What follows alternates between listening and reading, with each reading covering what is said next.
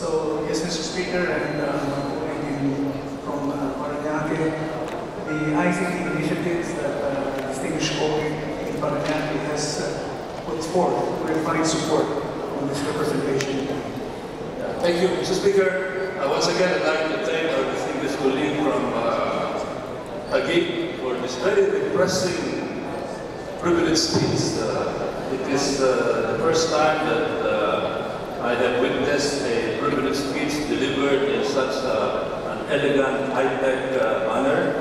And uh, just like him, I look forward to a 15th Congress that will be IT intensive and uh, a Congress uh, that will be more IT oriented. I would like to recall that uh, when texting started to become very popular, this will come as a surprise to our distinguished colleague from Taguig.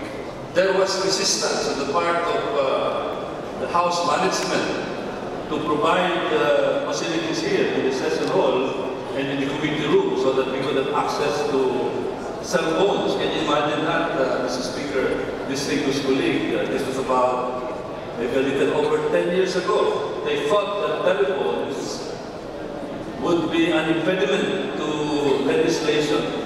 That was the kind of attitude that we had to deal with during the time that your father and I were together here in the House of Representatives. And very happy that instead of the father, now I have the son as a uh, colleague.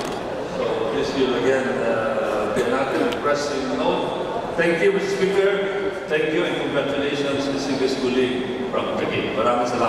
Thank you. Majority Mr. Speaker, with that kind conscience of the members of the House, I move that the privilege are extended for another hour